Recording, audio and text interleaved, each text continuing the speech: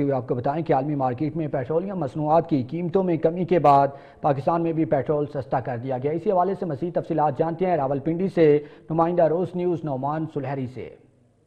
जी, बिल्कुल, निगरान हुकूमत की जानब से पेट्रोलियम मसनूआत में वाज कमी की गई है। आवाम को निगरान हुकूमत की जानब से एक बड़ा रिलीफ दिया गया है पेट्रोलियम की कीमतों में चौदह रुपये फ़ी लीटर कमी करने के बाद डीज़ल जो है उसकी कीमत में तेरह रुपये पचास पैसे फ़ी लीटर कमी कर दी गई। इस हवाले से हमारे साथ एक शहरी भी मौजूद है, इनसे हम बात करते हैं कि वो पेट्रोलियम मसनूआत में कमी के बाद क्या कहते हैं? मसनूआत में भी कमी की जाए ठीक है पेट्रोल में खाली कमी से कुछ भी नहीं होता।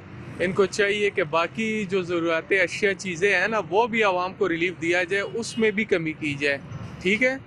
बाकी ये बहुत अच्छा स्टेप लिया है, ठीक है, मजीद भी हुकूमत को चाहिए कि इसमें कमी की तरफ़ जाए। जी, जैसा कि आपने शहरी की गुफ्तु सुनी, उसका ये कहना है कि पेट्रोलियम मसनूआत में कमी एक खुश आयद इकदाम है, लेकिन इसके साथ साथ जो ज़रूरती अशिया की चीज़ें हैं हकूमत उस पर भी फोकस